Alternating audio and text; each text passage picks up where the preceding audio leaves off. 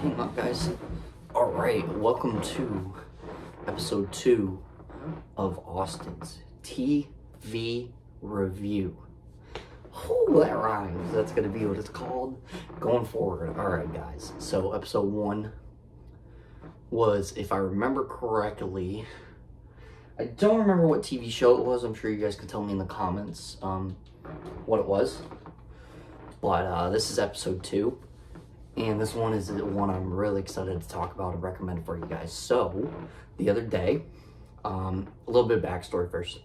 So, do you guys remember the movie uh, that came out years ago called Ted? Um, based on um, Seth MacFarlane and uh, uh, Mark Wahlberg was in it, and uh, Mila Kunis, I believe, was in it as well. Um, it came out in 2000 something, I believe.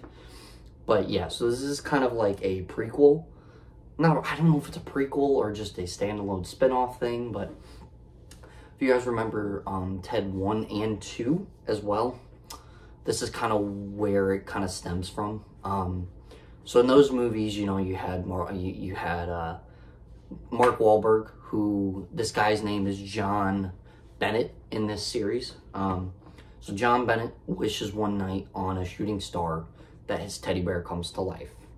And obviously it happens, and then they become best friends over time, and they have this thing where it's like thunder buddies.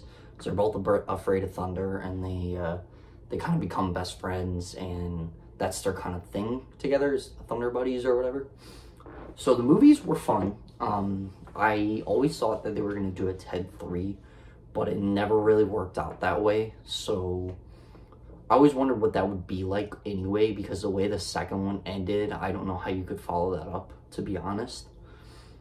But uh, yeah, they did. Uh, they did Ted one, and then they did Ted two as the the sequel. So the two movies under their belt.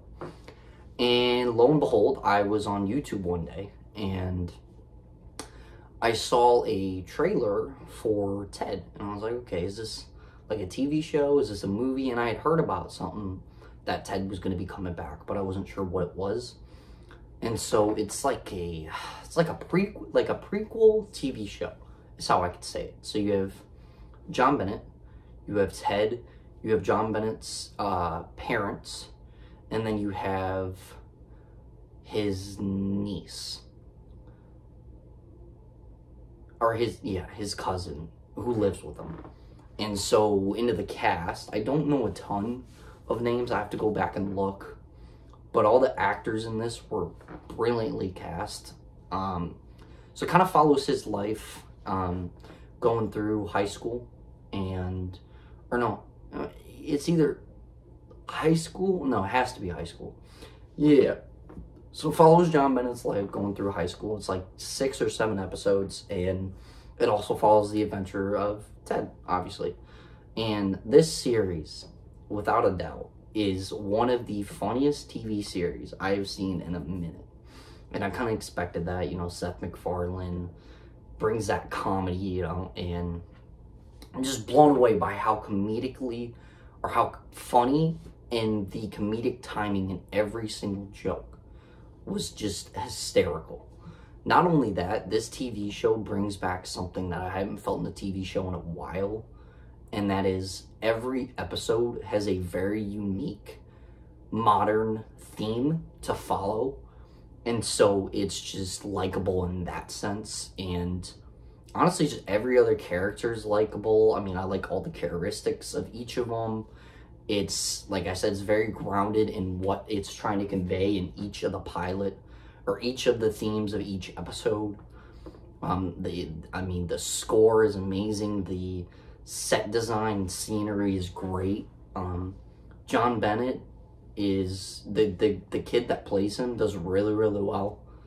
Um, overall, this show is just a blast and a fun time just binge watching the show, which I have not done in forever.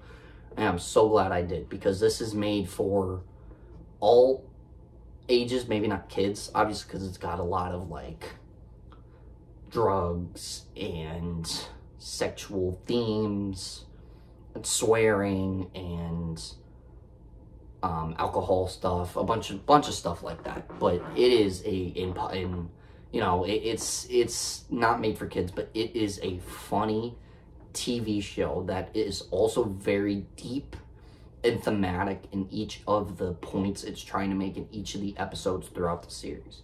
And you don't see that in many TV shows going forward. So yeah, anyway, um, you guys should definitely check this out.